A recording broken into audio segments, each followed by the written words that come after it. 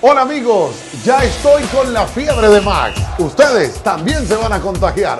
Prepárense porque viene mucho más.